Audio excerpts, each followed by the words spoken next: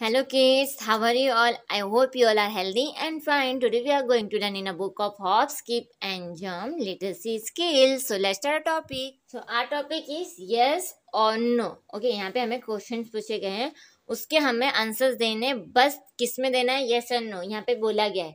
Right yes और no against each sentence ये जो सेंटेंस है ना, हमें उसके आगे सिर्फ़ यस और नो यस और मतलब हाँ और ना में ही हमें आंसर्स इसके देने हैं। उसके क्वेश्चन जो हमें यहाँ पे बोला गया है उसके आगे। जैसे कि फ़र्स्ट बोला गया a dog has a tail मतलब एक जो डॉग होते हैं, उसको पूछ होता है, ऐसा बोला गया है। तो यहाँ पे डॉग को एक होता है ना टेल देख रहे हो आप? A dog has a tail तो इसका आंसर क्या होगा? यस क्या बोलेंगे? हाँ को क्या बोलते हैं हम?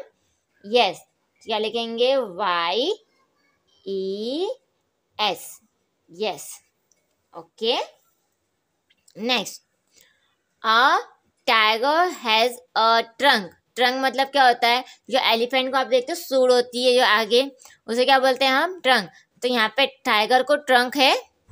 टाइगर को ट्रंक होता है? नहीं. तो हम यहाँ पे क्या लिखेंगे? नहीं के बदले नो क्या लिखेंगे?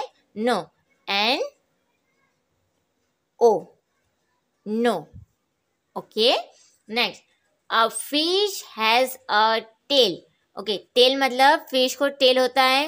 ये जो फ़िश फ़िश की पीछे की पूछ होती है ना, इसको फाइन बोलते हैं। यहाँ पे फाइन टेल बोलते हैं उसको। तो यहाँ पे इसको बोलेंगे यस क्या बोलेंगे हम?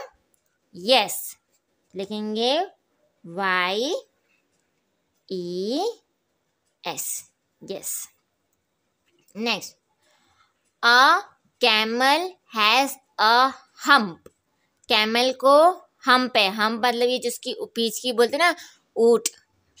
ये जो उठा हुआ रहता है, इसको क्या बोलते हैं हम? हम, जो ऊँट की जैसे उठी हुई जो पीठ रहती है ना, उसको क्या बोलते हैं हम? हम। तो ये कैमल को है ना, कैमल हैज़ अ हम। तो हाँ ना तो हम यहाँ क्या लिखेंगे? Yes, Y, E, S, yes. Okay? Next, a snake has legs.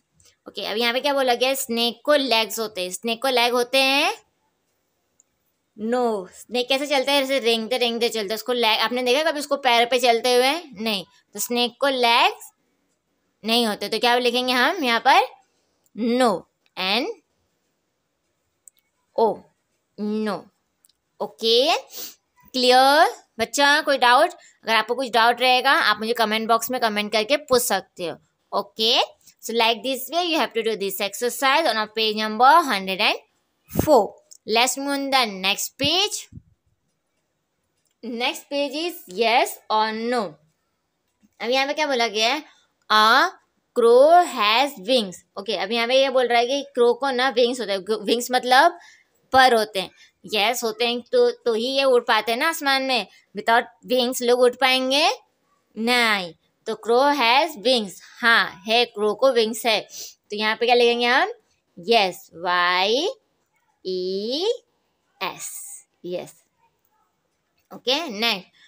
An elephant has a trunk. Okay. यहाँ पे अभी बोला गया एलिफेंट को क्या है ट्रंक देख रहे हो एलिफेंट को ट्रंक है ना यस तो हम यहाँ पे बोलेंगे हाँ एलिफेंट को ट्रंक है तो हाँ को मतलब यस हाँ के लिए क्या लिखने का है हमें yes Y E S yes next a lion has two legs okay lion को दो लेग्स है। नहीं लायन को कितने लेग्स है? One two three four four legs है ना लायन को। तो यहाँ पे क्या आएगा?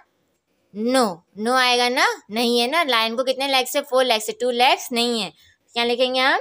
No N O no okay next tortoise has wings okay tortoise को विंग्स है?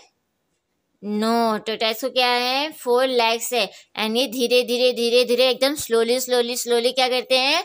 वॉक करते हैं. Okay okay? अगर विंग्स रहते तो ये उड़ के जाते तो टाइम नहीं लगता. तो ये टोटाइस को विंग्स है? नहीं है. तो क्या आएगा answer no and O no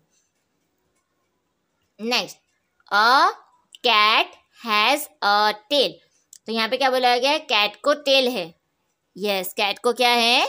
tell है। तो आंसर क्या आएगा हमारा? यस क्या लिखेंगे? Y E S yes okay so बच्चे, समझ में आया ना आपको? So like this way you have to do this exercise on page number hundred and five okay do it very neatly. Okay? So, take care. Bye bye